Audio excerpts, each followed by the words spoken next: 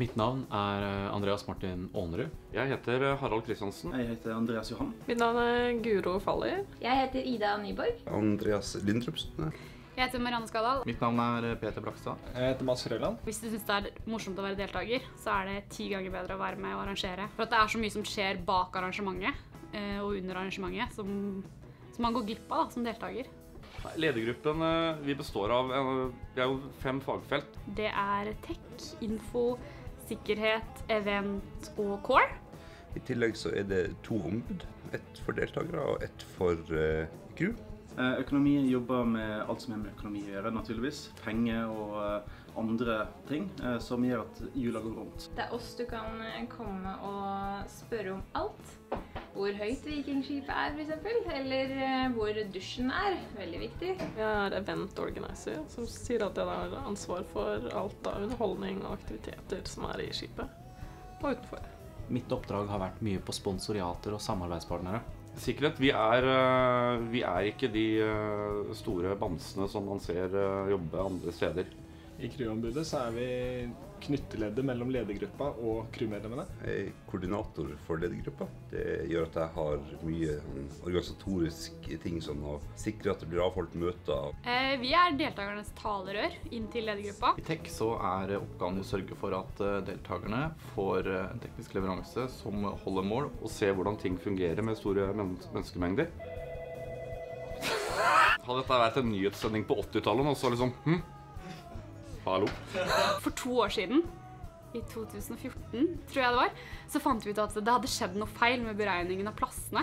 Det var for få plasser. Det var 3000 i kø da, dagen før TG starta.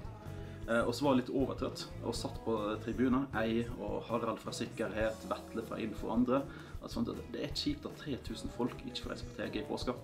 Så fikk en sprø idé. Når alle egentlig bør sove, så finner man ut at jo, vi har faktisk plass til flere mennesker. Sånn at det vi gjorde da, var at vi bare smalt sammen noen ekstra seter. Altså ekstra plasser med stoler, og kalte det for flanke-plankeplasser.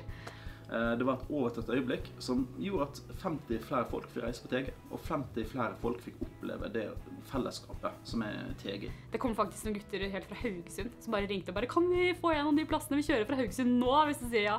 Det er sånne gode minner og opplevelser som, som jeg setter pris på, i hvert fall. Jeg ble med på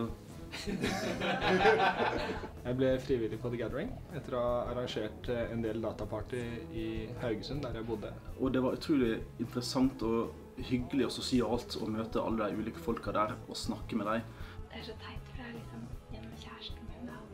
Og det var en selvsagt at året etterpå, da skulle jeg være crew.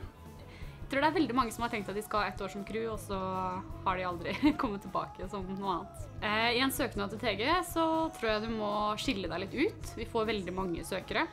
En dårlig søknad, eh, der står det veldig lite. Der står det 'Hei, jeg vil jobbe på TG'.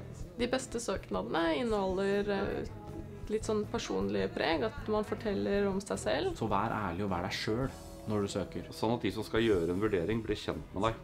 Akkurat som i, i arbeidslivet generelt. Det beste med TG er jo Det er det samme hvert år. Det er når lyset slås av i taket klokka ni på onsdag. Den følelsen er det ingenting som slår. Lukta. Det lukter spesielt på TG.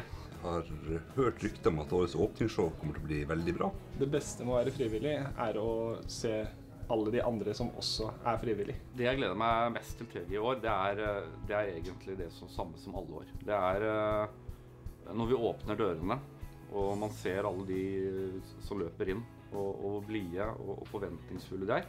Helt på slutten, siste natta, var helt stille. Eh, og det var en oppslutning rundt scenen som jeg knapt har sett før.